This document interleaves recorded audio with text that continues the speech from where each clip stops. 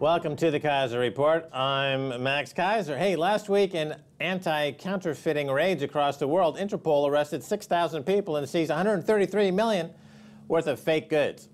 Not one of those arrested, however, was a central banker who had conjured up fictional national wealth by fiddling with QE buttons on a quantitative keyboard. Nor were any of those arrested spoof trading high-frequency algo bots generating fake liquidity with very real front-running. No banker or broker trafficking in bogus derivatives backed by delusional collateral. No naked short selling silver manipulator, and not a single robo signing mortgage forger. Nor a fake LIBOR rate giving banker was seized by Interpol. No, it appears Interpol made the world safe from 133 million in fake shampoo but failed to spot the trillions in sham financial transactions destabilizing global labor, currency, and bond and equity markets. Ha ha! Now, we, let's get some more on this. Stacy. Well, Max, we know financial regulators apparently refuse to do anything about all those fake derivatives and bogus transactions happening globally. But I thought maybe Interpol might be someone we could, uh, you know, appeal to to arrest all these fake derivative wielders. Interpol operations net millions of fake goods. So they netted tens of million dollars in fake shampoo, phony cigarettes in Turkey, and bogus booze in Chile. And Interpol said the reason why they did this is it's about quality and expectations. You're buying a particular electrical component part, you have trust because it's a brand you know and respect. But that product could, in fact, be dangerous or defective. It's misusing trust of the brands. Counterfeiting is uh, an interesting concept in this context, in that you have central banks who are counterfeiting uh, money that's not uncollateralized by any economic um, activity or savings. There's no savings in the world. America doesn't save money. Britain doesn't save money. There's no collateral. There's no basis for having an economy with banks offering loans based on collateral. There is no collateral. It's all counterfeit money. Trillions of dollars worth of counterfeit money, which destabilizes the economy to such a degree that you end up with people having to sell junk as shampoo. Whether in China they're selling, uh, remember famously the uh, pork stuffed cardboard buns as food, uh, chicken feet coming out of their yin yangs as food. Uh, that's a result of the counterfeiting at the central bank level. So yes, I take your point that $133 million of fake shampoo is the result of 160 trillion in counterfeit cash from Bernanke and this new fella in Canada, the hockey puck to the head, Mark Carney, etc. Of course, one of the things from uh, China, you also had the melamine in the milk, which killed a lot of babies, and you also had the the fake uh, uh, building products, so houses were falling apart. So the foundations of these houses were falling apart, and of course, who laid the foundations of this global uh, fraudulent financial system, but Larry Summers. And he's in the news. He's one of the people in the running for Treasury Secretary, that, uh, not Treasury Secretary, but the head of the Federal Reserve Bank to replace Ben Bernanke. He's one of the few names. Larry Summers' billion dollar bad bet at Harvard they're referring to him now as the Cambridge Whale, which is uh, fitting today as we have a new royal baby of Cambridge. oh, really? A new royal baby? Well, yeah, I read all about her on Frankie Boyle's tweet stream. He doesn't seem to it's going to add any value to the UK economy, according to Frankie Boyle. By the way, look at this photo of him. This is uh, him looking much like the Duchess of Cambridge before she That's went into... That's a photo of the baby? My God, they, these kids, they're obese. What do they feed these kids? That, that Duchess should be ashamed of herself. Look at that fat baby. Oh my God. How did she pass that through her little youth? Oh my. Wow, that must have hurt, baby. Wow, well. No, that was Larry Summers, Max. Oh, that's Larry Summers. And this oh. billion dollar bad bet was that during the financial crisis, Harvard lost nearly $1 billion because of some unusual and ill judged interest rate swaps that Summers implemented in the early 2000s during the troubled tenure as the university's president. So, what he had done, Max, is he had uh, thrown his lot behind some fake derivatives, basically. The, the same sort of derivatives that have blown up Greece, Italy, Jefferson County, Alabama, and now Detroit. Interest rate swaps allow borrowers to lock in a fixed interest rate on floating rate debt, which can be good to hedge against short term uncertainty. The problem with Harvard was that Summers wanted to lock in interest rates for money that the university hadn't actually borrowed and wasn't planning on borrowing for a long time. yeah, I remember when people were kidnapped, it used to be a crime story. Like here, Larry Summers obviously was kidnapped by banking terrorists and forced to participate in an illegal Ponzi scheme. But that's the cause of celebration. He lost a billion dollars for Harvard's money. Or, like as you point out, Greece was kidnapped, Papandreou was kidnapped, and by John Paulson, the hedge fund manager, and uh, Lloyd Blankfein, over CEO of Goldman Sachs, put a gun to his head. So either either accept our credit default swaps, we're going to blow your freaking head off. He then took a billion dollars, put it in his mother's name, so Larry Summers, he's qualified to be the Fed chairman now because he's shown himself uh, to be easy to extort money, to manipulate, to print, to counterfeit money. He's a serial financial killer. He's the he's the uh, you know the Charles Manson of banking. So he's perfect to run the Fed. Of course, when he was uh, in the Clinton White House, he was part of. He was considered one of the biggest brains out there, right? He was the guy who set us on a course, along with Robert Rubin, to deregulate everything. And he was also here, head of president of Harvard. So a guy who's supposed to be smart. He's a guy who's known to be smart. And yet he engaged in these derivatives that blew up into a disaster. So these are the same things being sold to passive funds across the world that have blown up passive funds and, and nations across the world and cities across the world because they also bought these. These were being sold to unsuspecting investors, and he was a suspecting investor and didn't understand it. How did Detroit's pensions fail so badly? One of the many shocking aspects of the Detroit bankruptcy, and there are many, but one of them is how quickly their pensions fell into deficit because they were actually in surplus in uh, 2000. In 2002, 2003, they were still in surplus. And by 2005, they were, there was a huge deficit. And what happened was the, um, the mayor at the time, Kwame Kilpatrick, turned to Wall Street, just like a lot of other municipalities. to laugh. So in 2005, the city joined many other municipalities by issuing municipal bonds to fund its pension obligations.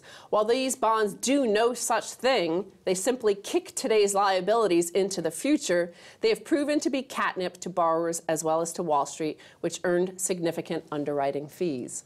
All right, so it's the Detroit, Jefferson County, Greece, Harvard's endowment. All the, in the UK, there's dozens of businessmen who have been sold these credit default swaps as a way to uh, enhance their bottom lines, knowingly by HSBC, Barclays, Royal Bank of Scotland, and the other fakakta uh, banking criminality. And they've all exploded in their face. So, yeah, Detroit is America's Gaza, basically. And look for that trend to continue. They're going to wall that city in and just starve everyone to death and try to make a few bucks as a prison operator. Well, speaking of the counterfeiting, however, these are th this was counterfeiting payments to the pension fund because it wasn't real. It was just debt. They were just conjuring up debt, putting it into the pension fund and saying they had met their obligations. But then what happened is they got into a cycle of having to ever go back and repackage and uh, borrow more money from Wall Street accumulating fee after fee. They've paid over $500 million in the last few years in just fees to Wall Street for underwriting these new bonds to pay back the old bonds that they have uh, almost defaulted on. So they're in a cycle of ever winding bad debts. Oh, right. They're like the Wonga. Look, this guy, Larry Summers, should run Wonga in the UK, which is uh, they charge 5,000% interest rate. They're essentially a mafioso type organization that is a uh, loan shark, but on steroids. They put loan sharks out of business. You know, you want to increase jobs in the UK, put the loan sharks back in business and, you know, get rid of Wonga. Or if you want to have some kind of economic activity in America, if you don't want Detroit to be the new Gaza, then don't have Larry Summers run the federal. Oh, wait, you do want Detroit being the new Gaza. You do want apartheid. You do want a pogrom in America. I forgot. You love it. So speaking of these counterfeit things, so they were sold a counterfeit good of, bill of goods because, no doubt, following Wall Street Counsel, the city entered into a complex arrangement involving floating rate debt and interest rate swaps for $800 million of new debt. In an opaque Rube Goldberg arrangement that only a banker could love, the deal ostensibly reduced the city's interest rate expenses in reality, it did not reduce the expenses, just as buying cheap building products do not reduce your expenses in the long run. It actually increased and is now the largest line item on their budget is the interest rate payments and underwriting fees to Wall Street. Yeah, no, the original debenture called it Zyklon B, but uh, instead they went with uh, deferred. It's debenture underwritten by Ponzi-esque future payments collateralized by money that'll be printed in the future by Larry Summers, who's in the pocket of banksters, and a double-edged butterfly put spread, um, in your face, upside down, interest rate sensitive toward the inflation rate discount mechanism that we've got baked into the hedge product from Goldman Sachs to create a new Gaza eh, called Detroit. Uh, very good, bankers. Uh, you succeeded in creating uh, apartheid in America. American apartheid, Goldman Sachs. Mwah, you are beautiful. I wouldn't turn Larry Summers upside down. You don't know what might come out. Yucks. Ill. Yuck. But now, speaking Larry Summers, he's in the running to be the next Fed chairman. But the, the previous the, the current Fed chairman is in the news. Gold futures hiccup indicates demand outpacing supply. So I know you're going to speak to Sandeep Jaitly about backwardation. Gold is in backwardation. It's been in backwardation since January, suggesting that there's a, um, a constriction in supply. People are having a hard time finding supply. Ben Bernanke last week said, Nobody understands gold prices, and I don't really pretend to understand them either. Good, Ben. We're carrying you out on a stretcher. I don't know what happened. yes, Ben Bernanke, we hear you clearly. Gold is in backwardation and the gap is growing. We're going to take you out on a stretcher, Ben. You and Larry Summers are going to be in a body bag of finance, figuratively speaking. Uh, well, Larry Summers can't be taken out in a stretcher. He needs a helicopter. He needs to be We're lifted. We're going to take a derrick and remove that fat Larry from his house. So Guillermo Barba, who is of the new Austrian School of Economics, the same school that Sandeep Jaitly comes from, he is interviewed in this Reuters piece, and he says the actual message of the backwardation is that there is behind the curtains a lack of confidence in the fiat monetary system. He then goes on to say that's why a fall or rise in gold prices is not so relevant anymore. The monetary fire alarm message, courtesy of the relationship between spot and futures prices, is run for your gold. There is a not enough for all. And, Germany, guess what? No gold for you, schmucks. China, Russia, much gold. America, no gold. All right. Stacy Herbert, thanks so much for being on the Keiser Report. Thank you, Max. Stay tuned for the second half, a whole lot more.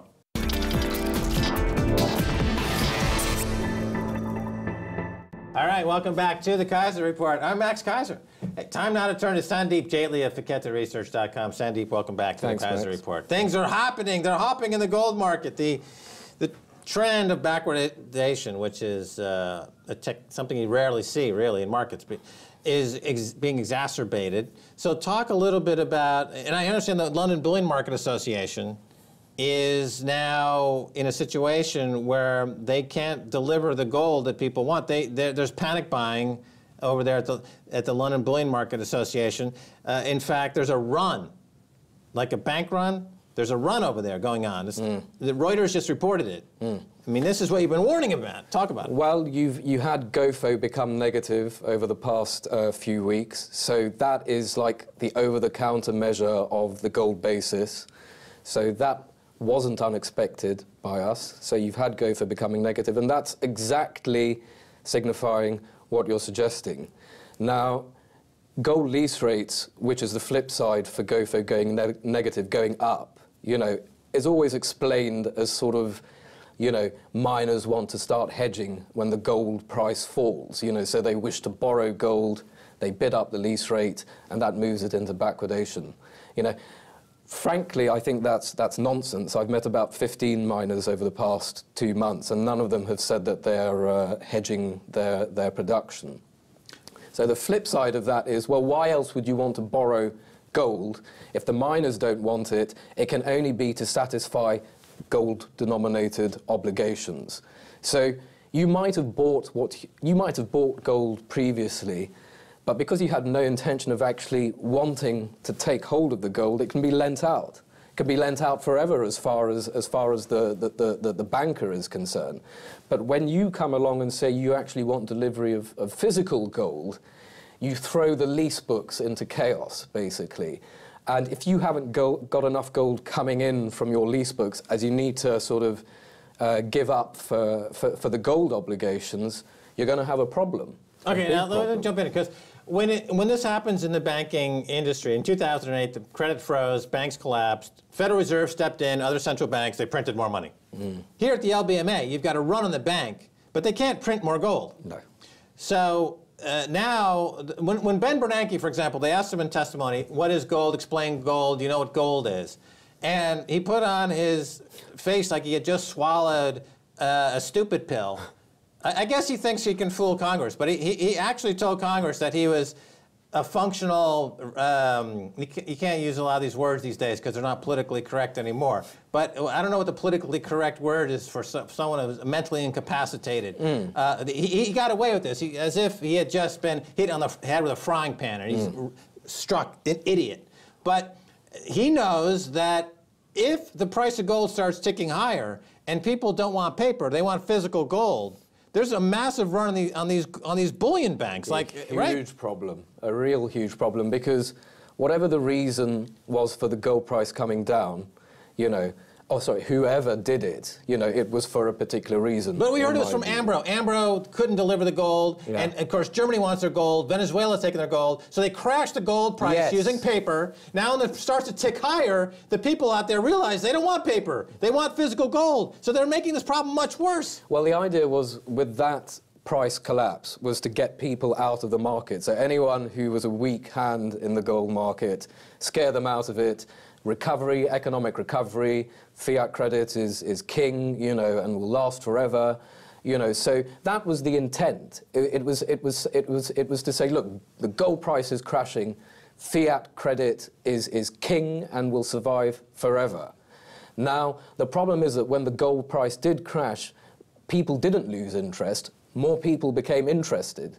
And if you look at the open interest on, on the exchange, on the COMEX exchange, it just shot up after that, which is something I imagine they weren't expecting.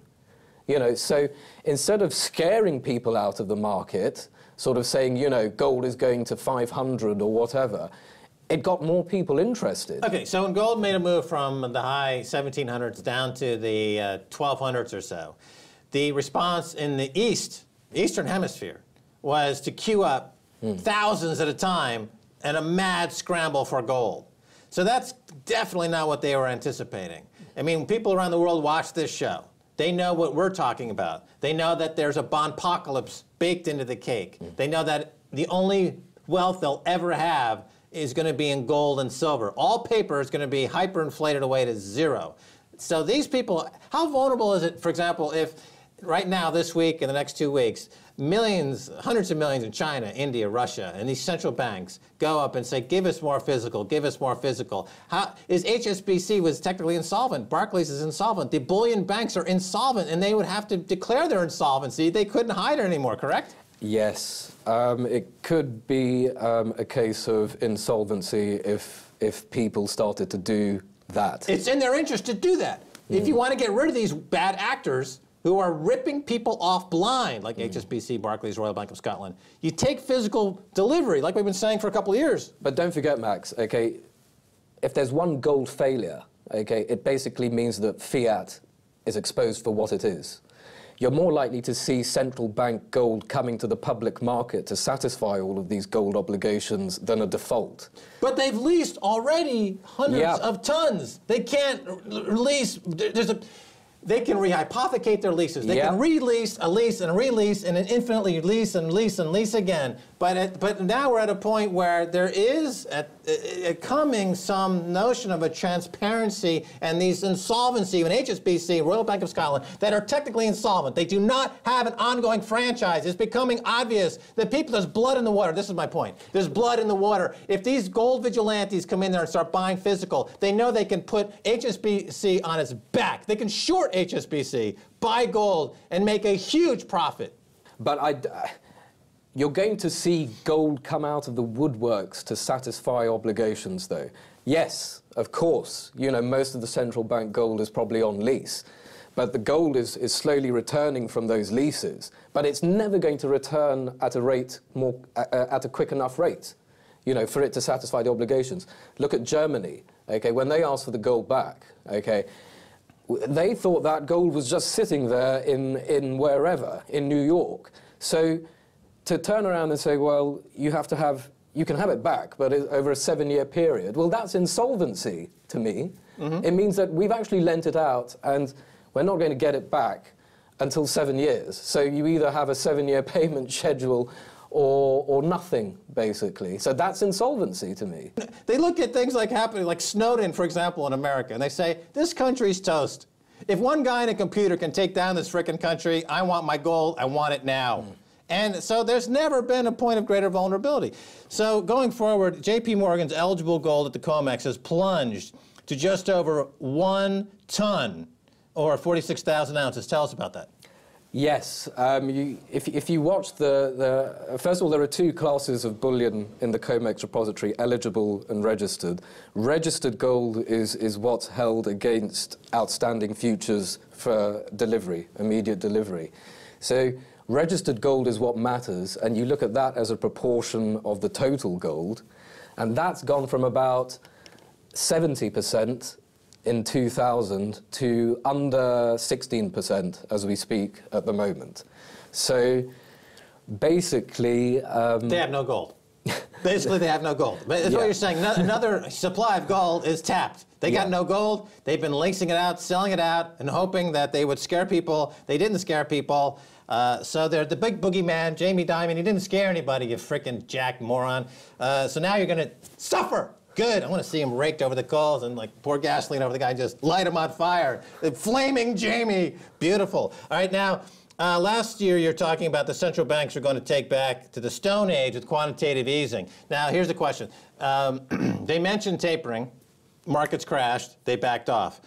Ben Bernanke, in his recent testimony, said that, and I quote, uh, or a paraphrase, I should say, he said basically that if, in fact, we taper, if we ease off on the easing, the economy crashes, is what he said.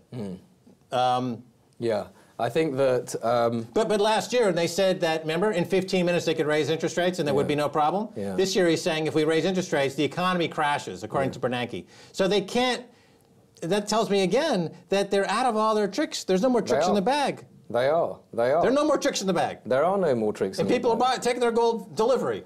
and people are taking delivery and wanting to take delivery of their uh, their gold. You see, the, all of these gold obligations, people were happy to keep in dollar terms because you could do the exchange. Okay, but they're ultimately gold obligations. They're not. They're only dollar. They're, people are only willing to hold them and exchange them against dollars because of the sanctity of a gold obligation, basically.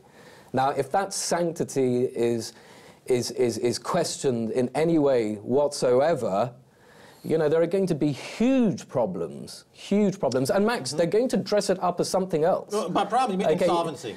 And n- not only, Bank I mean, insolvency. That aside, okay, whatever happens in the gold market, just like Nixon talked about the money speculators back in 71 causing the gold market to, to collapse, they'll come up with some other kind of nonsense, you know, as to why the gold futures market isn't functioning. You know, people hoarding or, or whatever. Oh, know, you saw in Hungary, in. Hungary last week, the, the, pr- the prime minister blamed the bond uh, vigilantes for the country's uh, problems. So they're already vilifying the financiers, Mm. Yeah. the bond vigilantes. So you're saying that once it becomes clear that the gold buyers are are causing massive bank failures, they're going to vilif- attempt Mm. Yeah. to vilify the heroic silver buyers, the Silver Liberation Army, who we should hold in esteem of course, these same central bankers will attempt to vilify them and scapegoat them. Yeah. But we need to remain strong against these charlatans in the central bank, the Larry Summers of the world. Absolutely. Okay, bond market. Is it entered a secular period now of uh, rising interest rates? I don't think so. Because you have that to remember. goes against my theory. Go ahead. You remember, you know, it's, it's like, I compare it back to the assignats in France, okay? So they, they, they were launched with a 6% interest, but by the time they collapsed, okay, 6% interest in assignats, well, an assignat could be exchanged for, for nothing. You know, so, all right, yes, in nominal terms, interest rates might go up to 5% or 6%, you know. I only talk in nominal terms. Yeah, but okay? then On you this have show, to we talk nominal this- terms. the- you're, the- you're talking the, for the the real fiat terms. system will never fail in its own terms because it doesn't need to fail in its own terms. You just said we, we just said it. It's gonna. Sandeep. we'll have to have you on back again. That's all the time we have today. So uh, thanks for being on the Keiser Report. Thanks, folks. Okay, and that's all the time we have for this episode of the Keiser Report with me, Max Keiser, and Stacy Herbert. I'd like to thank our guest, Sandeep Jaitly. If you, if you can attend a lecture by Sandeep and Professor Fekete at the British Museum on the 5th and 6th of October, you're welcome to. For more details, go to their site, feketeresearch.com. Uh, if you'd like to get in touch with us, tweet us at Keiser Report. Until next time, Max Keiser saying bye, y'all.